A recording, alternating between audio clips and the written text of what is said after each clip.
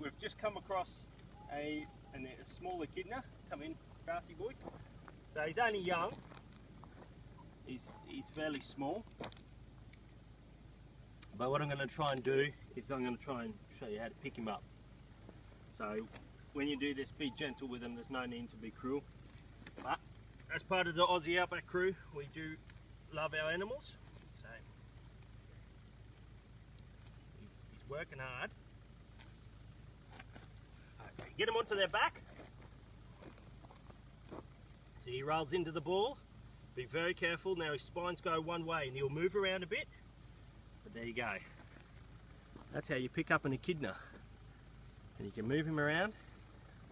Now he'll move around a little bit, but usually they're pretty good. So there you go. We've seen something nice and interesting. Look at him, he's, he's got nice fresh claws.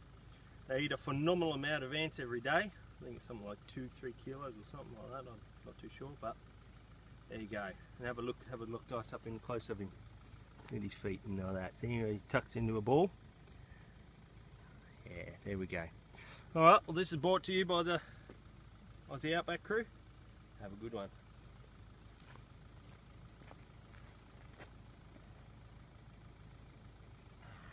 How'd that look?